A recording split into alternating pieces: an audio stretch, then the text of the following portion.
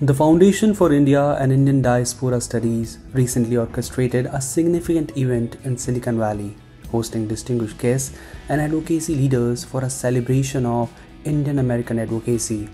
Notable figures including Consul General of India, Dr. Srikar Reddy, Israel's Deputy Consul General Matan Zamir, and Silicon Valley entrepreneur Raju Reddy graced the event with insightful addresses. Dr. Srikar Reddy emphasized the robust partnership between India and the United States, shedding light on ongoing Indo US initiatives. He underscored the crucial role of the Indian diaspora in fortifying this bilateral relationship. So, in fact, uh, the name of the organization itself is for India and also for Indian diaspora. So, it speaks about the whatever activities it is doing. I was able to glance through some of the events that were organized by uh, Khanderaoji and also the members of this organization. I think you are doing a wonderful job in uh, creating linkages between India and US by coming up with studies, reports, recommendations, and also creating awareness among diaspora regarding various rights and also, uh, for example, uh, you also taken up regarding the green card and other issues also with the uh, federal government. We are doing a lot of things for the community.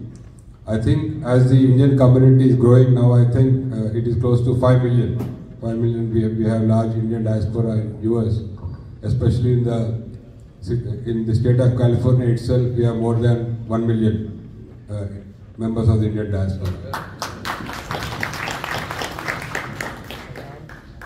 So as you know, in recent years, we have seen a transformational change in the India-US partnership, especially after Modi government in the last nine, nine and a half years, but most recently because of the bipartisan support in the US also, and with the recent visit of the Honorable Prime Minister to US in June this year, so that I can say the highest point in the relationship between the both countries and this was followed up by the successful visit of President Biden to uh, New Delhi in September to participate in the G20 meeting.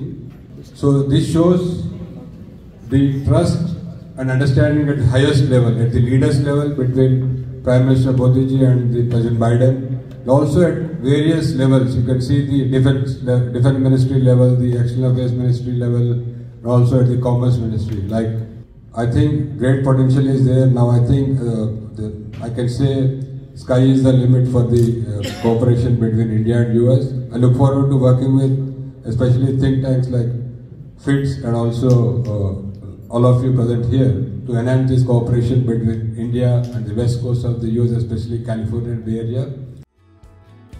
Israel's Deputy Consul General Matan Zamir expressed gratitude for India's unwavering support and addressed efforts against Hamas, affirming Israel's commitment to countering terrorism. Because as you all know, on October 7th, Israel experienced the most difficult, terrible day that we had since the Holocaust. Hamas terrorists came from Gaza, killed 1,400 people of, of our people, babies, children, women, I will not get into the details of what happened there. You've all been following the news. I had, unfortunately, because of my work, to watch a lot of these videos and a lot of these images. Barbaric, violent. You cannot even imagine what these people in the area around Gaza had to go through on that dark, terrible holiday, Saturday morning on October 7th. But what's important for me to say today that even though Israel has received an, a surprising, unimaginable blow, just like the Chabad house in Mumbai, we will win this and we will get bigger and stronger than we were before. Thank you. Now, I want to say something um, to you all tonight. Other than thank you for inviting me, I have to share with you that the community that has been standing strongest with us, with Israel, has been the Hindu community. It's the Indian government. Thank you.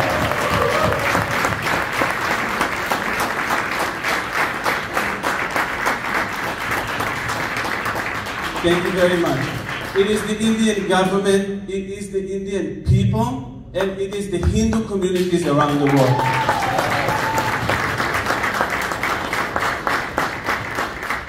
So it is my honor to be with you today and say thank you. Every I am on social media because we're fighting a lot of hate on social media, and every time I see a, a hateful post, I see um, the people who are attacking those hateful posts have the Indian flag and have the Israeli flag. And that's not a coincidence. And when there are posts of support saying we stand with Israel, I'll, most of the times there's also an Indian flag there. And it warms my heart. It makes me feel proud. And I want to thank you for that too. And even though we don't take it for granted, in my mind, it makes sense. There's so many commonalities between India and Israel we both share the, the, um, uh, the value of democracy more than anything else. We value family. We value education. We value, yes, family. Still my, mother there. We value the things that matter. FIIDS founding director, Khanderao Kand, provided insights into the historic advocacy campaign on Capitol Hill, covering key policy matters. The event also saw updates on various programs, including high school and congressional internship programs, fact based policy research, and the Indo American Voters Awareness Campaign. First time in Capitol Hill, Indian American Advocacy Summit was hosted. There are many other summits happen or programs happen, like a Diwali programs happen, many other events happen. However, advocacy means actual engaging the people, elected officials, discussing with them on the issues as a group, as a citizen, expressing the concerns, asking their inputs, and then discussing that. That is what it takes to influence the policies. So that is something that we did this year more than 100 people all over the USA went engaged outreach almost all is 400 plus elected officials.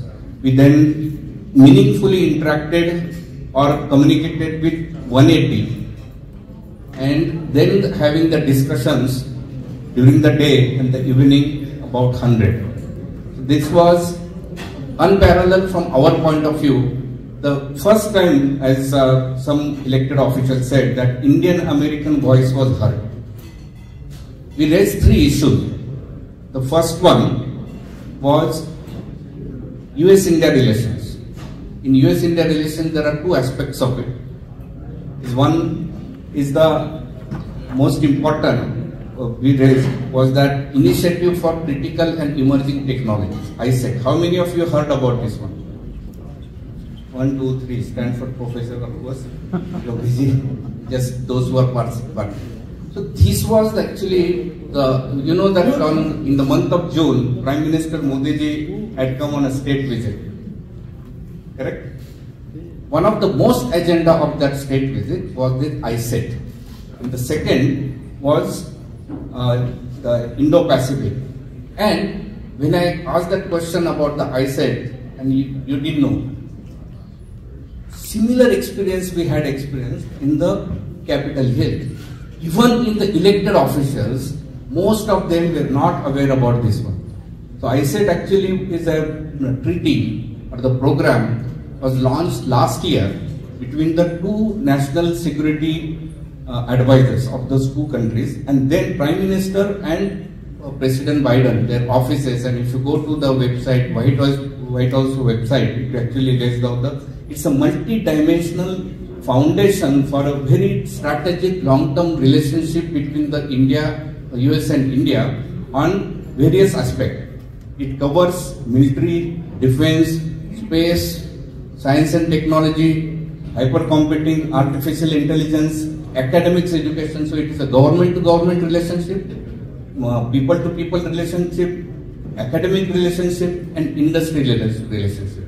So because US-India relations are very important and that's why, but however you notice that even though the iCET was announced last year, even on Capitol Hill, and it is hardly White House to Capitol Hill, it's not even uh, uh, two miles. Right? You can walk in 15 minutes, but that message was not reached. That's where advocacy comes into the picture. We took that message there first before even Modi's visit was there. So that's second thing what we are doing is that uh, uh, Indo-Pacific is a very important region because world's largest trade goes through that uh, corridor. However, as you may have seen that last uh, few years, particularly in the COVID time, we have seen that global supply chain was disrupted. And because only one country has a dominance into that. At the same time, that country also has a much more wider uh, and hegemonic uh, actions going on. That is a China in the South China Sea and that corridor. So that's why it's very important from the global perspective, for the peace and stability, prosperity perspective, to have a security in, and the uh, proper stabilization of the supply chain from the region. And that's why US and India are working towards that. You may have heard that Quad, uh, right? That Quad is the initiative US, uh, India, Japan, Australia, that's going on. However, we actually took the different message. What we said is that if that region has to be stable, it cannot be just four countries. Out of this, one country which is the largest player, USA, is a far off.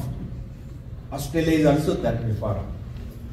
It has to be the regional players. We actually worked on two more issues. One was immigration, and immigration is one of the most favorite, and we have a particularly uh, long battle going on on that. Now, why policies are important, right? Because when we are prospering, many times we feel that hey, we have life is going on very well, we are very educated, we are having jobs, we are successful, there is no problem. But at macro level, all the policy happen, they impact all of us, we don't even care, because we don't even understand. So that is where the policy engagement is very important. Silicon Valley entrepreneur Raju Reddy highlighted the pivotal role of Indian American startups in influencing policy changes and fostering prosperity through US India collaborations. The celebration marked a milestone in journalism as FIIDS announced the first ever award for excellence in journalism, honoring Press Trust of India reporter Mr. Lalit Jha for his fair and insightful coverage of US India relations and Indian diaspora related matters. The event served as a platform for a comprehensive discussion on the future of the Indian diaspora and its role in fostering global partnerships. The shared commitment of distinguished guests, advocacy leaders, and community representatives from diverse backgrounds underscored the vital role organizations like FIIDS play in shaping narratives and representing the interests of the Indian American community.